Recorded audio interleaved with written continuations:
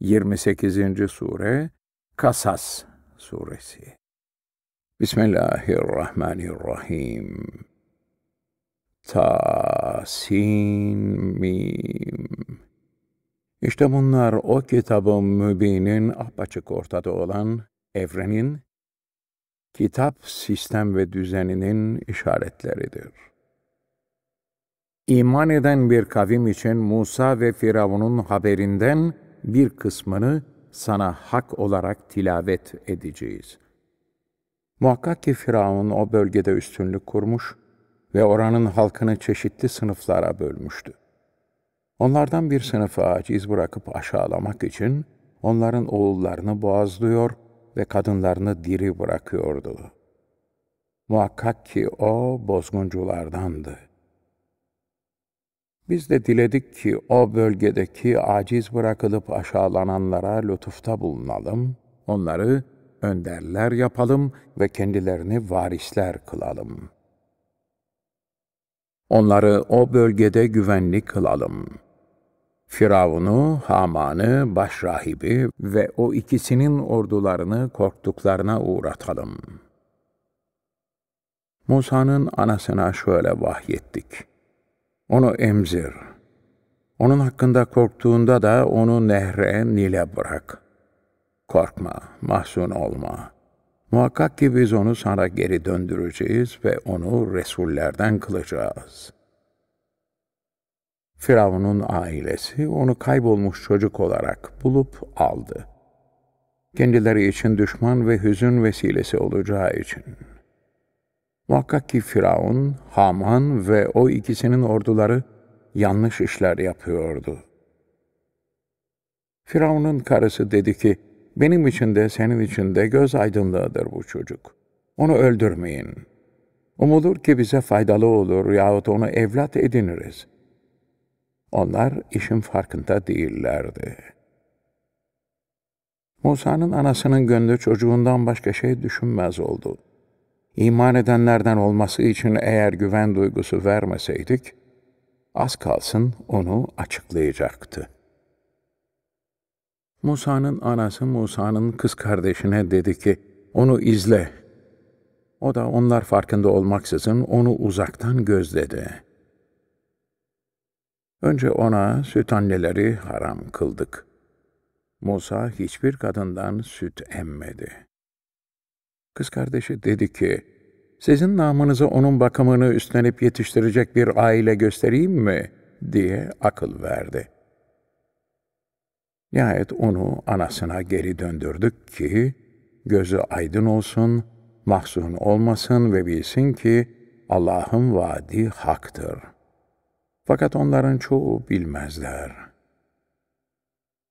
Musa olgunluğa erişip 33. yaşa daha sonra da olgunluğun getirisi olan olaylara hakkıyla değerlendirme yaşına eriştiğinde, yani 40. yaşa, ona hüküm ve ilim verdik.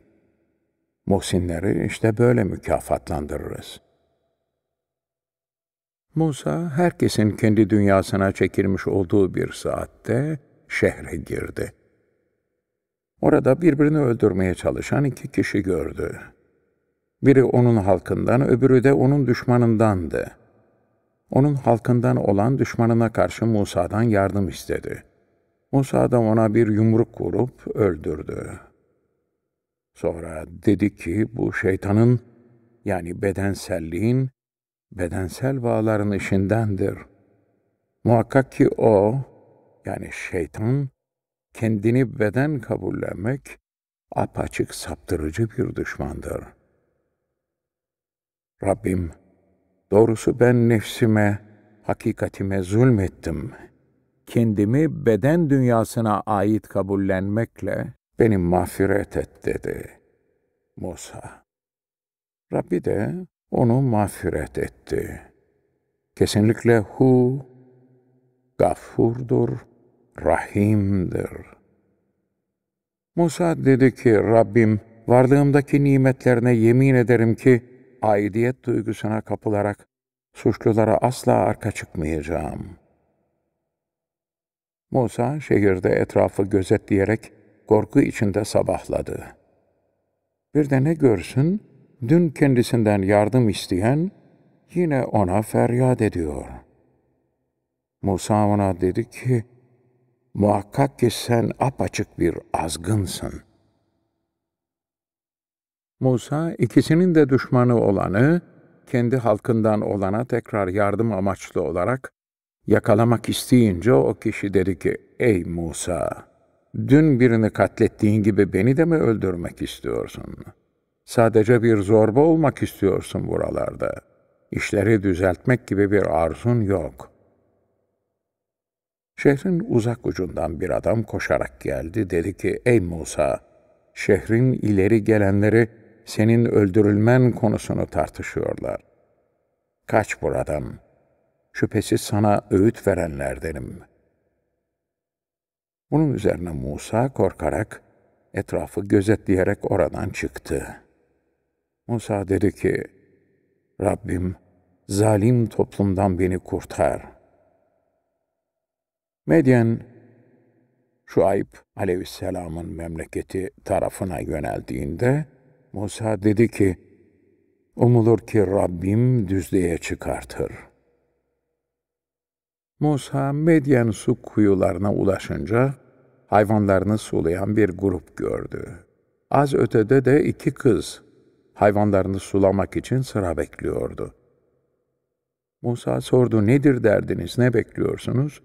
Dediler ki, çobanlar sulayıp dönene kadar biz sulayamayız. Babamız da çok ihtiyardır, bu işe gelemez. Bunun üzerine Musa onlar namına suladı, sonra gölgeyi geri dönüp niyaz etti. Rabbim şüphesiz ki bana nasip ettiğin hayırdan, kaçıp kurtulduktan sonra çok yoksul kaldım. O iki kızdan biri utangaç bir halde ona yani Musa'ya geldi, dedi ki, babam hayvanlarımızı sulamanın karşılığını ödemek amacıyla seni davet ediyor. Musa, Şuayb'a gelip ona hikayesini anlattığında, Şuayb dedi ki korkma, o zalim toplumdan kurtuldum. İkisinden, kızlardan biri dedi ki, ey babacığım, onu işe al. Şüphesiz bir ücretle çalıştırdıkların arasında en hayırlısıdır. Güçlü, sözünde durandır. Şuayb Musa'ya dedi ki, ben sekiz sene bana çalışman karşılığında şu iki kızımdan birini sana nikahlamayı diliyorum. Eğer on seneye tamamlarsan, senin derununun getirisidir. Sana zorluk vermek istemem. İnşallah beni salihlerden bulacaksın. Musa dedi ki, o süre şartı seninle benim aramda. İki süreçten hangisini tamamlarsam tamamlayayım, bana kızmak yok. Allah sözümüze vekildir. Musa o süreci tamamlayıp ailesiyle yola çıkınca, Tur'un tarafından bir ateş algıladı. Ailesine dedi ki, durun, şüphesiz ben bir ateş algıladım. Belki ondan size bir haber getiririm yahut o ateşten bir kor getiririm de, belki ısınırsınız.'' Oraya geldiğinde o mübarek yerde Eymen Vadisi'nin kıyısından o ağaçtan Ya Musa, kesinlikle ben Allah'ım, alemlerin Rabbi olan diye nida edildi. Asanı at. Musa sanki ince küçük yılan gibi titreyip hareket ediyor görünce, asasını arkasına bakmadan dönüp kaçtı ondan.'' Allah buyurdu, Ya Musa geri dön ve korkma. Muhakkak ki sen güvendekilerdensin. Elini koynuna sok. Sağlıklı bembeyaz çıkar. Korkudan kaldırdığın kollarını da indir, rahatla. İşte bu ikisi Firavun ve onun ileri gelenlerine Rabbinden iki delildir. Muhakkak ki onlar inançları bozuk bir toplumdurlar.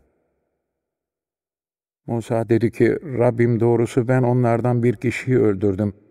Bu yüzden beni öldürmelerinden korkarım. Kardeşim Harun var ya, lisan itibarıyla o benden daha rahat konuşur. onu destekleyici olarak benimle birlikte irsal et. Şüphesiz ki ben yalanlamalarından korkuyorum. Allah buyurdu, kardeşin olarak kollarına kuvvet vereceğiz. İkiniz için öyle bir kuvvet oluşturacağız ki, işaretlerimiz olarak size erişemeyecekler. Siz ikiniz ve ikinize tabi olanlar galiplersiniz.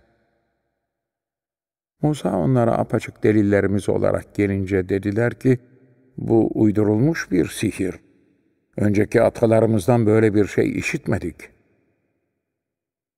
Musa dedi ki, Rabbim daha iyi bilir. Onun indinden kimin hakikat kılavuzu olarak geldiğini ve yurdun sonunda kimin olacağını, muhakkak ki zulmedenler kurtulamazlar. Firavun dedi ki, ey önderler, sizin için benden gayrı bir tanrı bilmemekteyim. Ey Haman, tuğla ocağı yak da tuğladan bir kule inşa et. Belki tepesine çıkar, Musa'nın her şeyin üstündeki tanrısını görürüm. Doğrusu ben onun yalancılardan olduğunu düşünüyorum.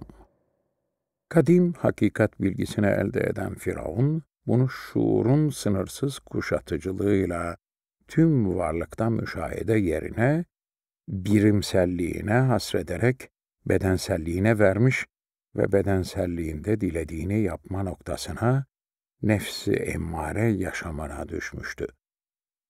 Bu yüzdendir ki Musa aleyhisselam ona hakikat bilgisini aktarmak yerine yani Allah'a iman yerine Rabbül Alemine iman noktasına çekerek uyarı yapmıştı. Yani tüm varlıkta tedbir eden esma mertebesine dikkatini çekerek hayalindeki vahdeti bedenselliğinde yaşamak yerine tüm varlığa yaygın esma manaları çıkışına iman etmesini teklif etmişti.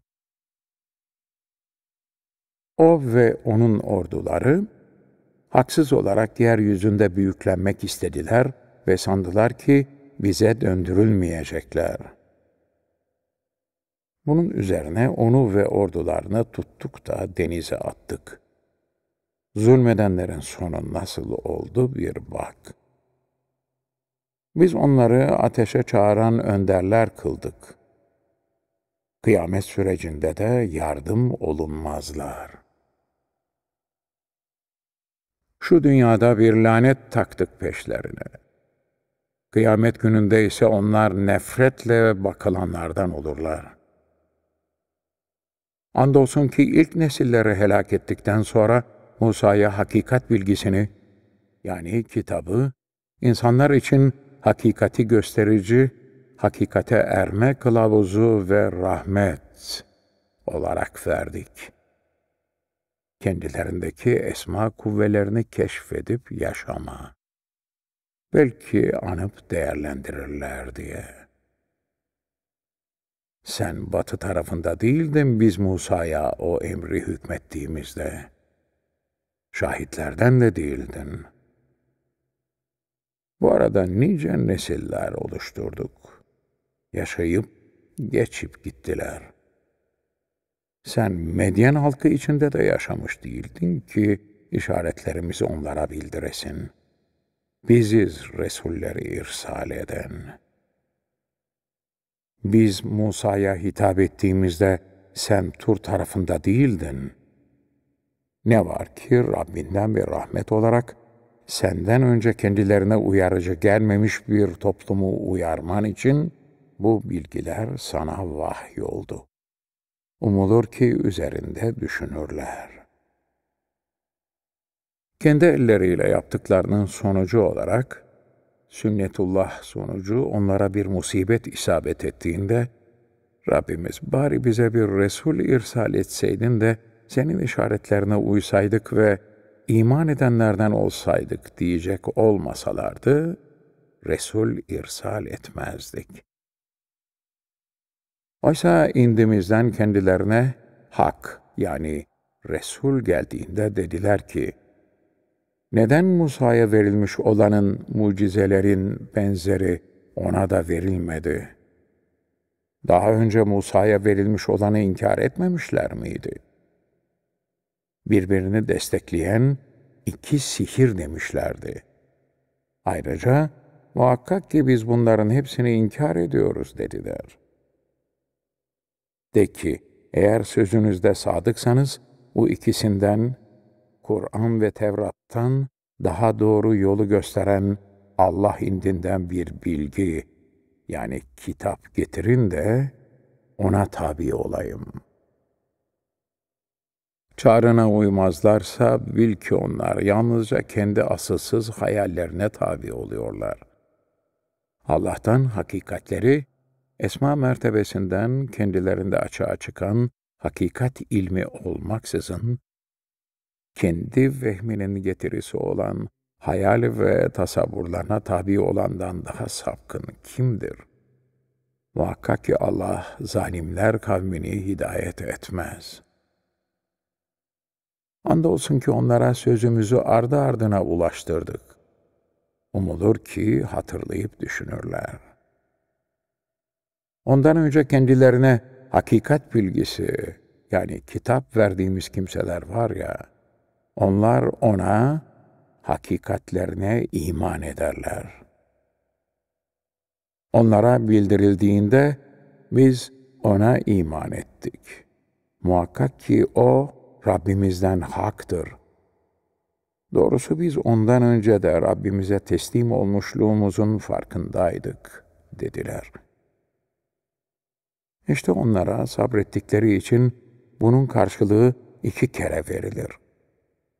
Bunlar kötülüğü güzel davranışla yok ederler ve beslediğimiz yaşam gıdalarından karşılıksız bağışlarlar. Boş laf, dedikodu işittiklerinde ondan yüz çevirdiler ve dediler ki, bizim yaptıklarımız bizim, sizin fiillerinizin sonucu da sizindir. Selamu aleyküm. Cahilleri istemeyiz.'' Hakikati kavramayanlarla konuşacak bir şeyimiz yoktur. Kesinlikle sen sevdiğini hakikate erdiremezsin.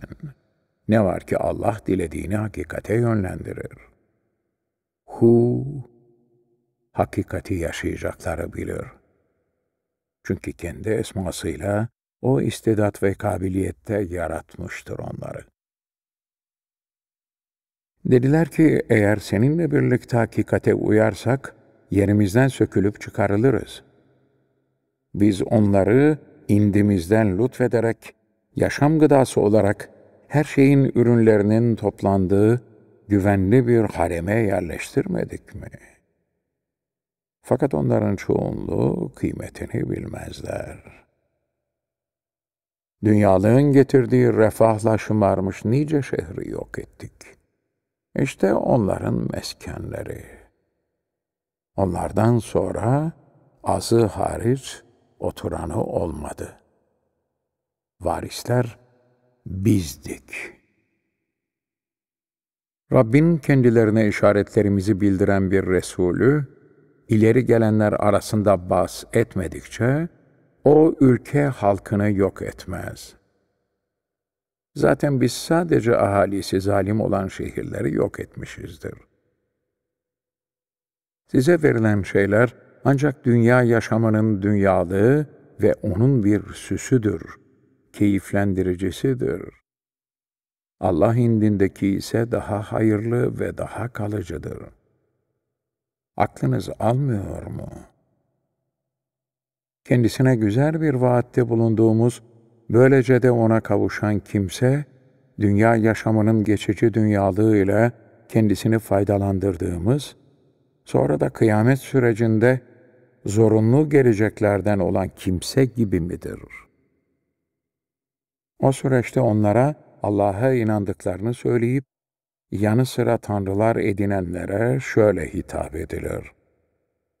Ortaklarım sandıklarınız nerede? Bildirilen sözü hak etmiş olanlar dedi ki, Rabbimiz işte şunlar saptırıp azdırdığımız kimseler. Kendimiz sapıp azdığımız gibi onları da azdırdık. Sana yöneldik, hüküm senin. Zaten onlar bize tapınmıyorlardı. Denildi ki, ortaklarınızı çağırın. Bunun üzerine onları çağırdılar.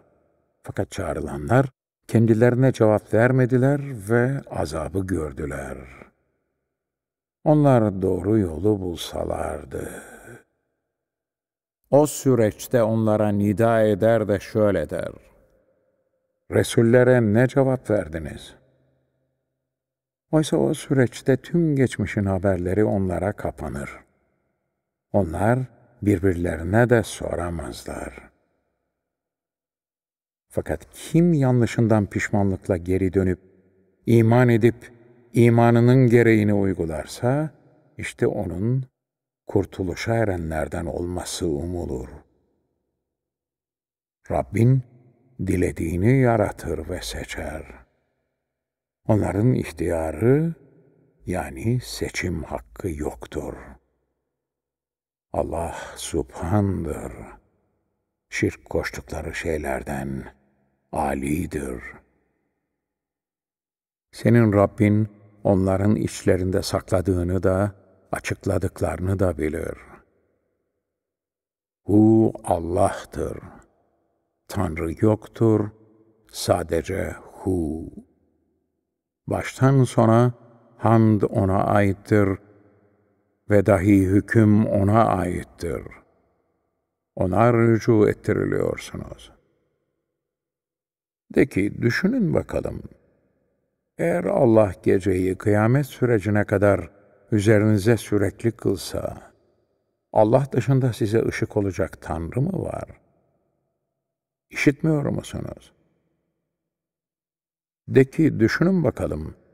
Eğer Allah gündüzü kıyamet sürecine kadar üzerinize sürekli kılsa, Allah dışında içinde sükun bulacağınız bir gecenizi oluşturacak Tanrı mı var? Bunu görmüyor musunuz?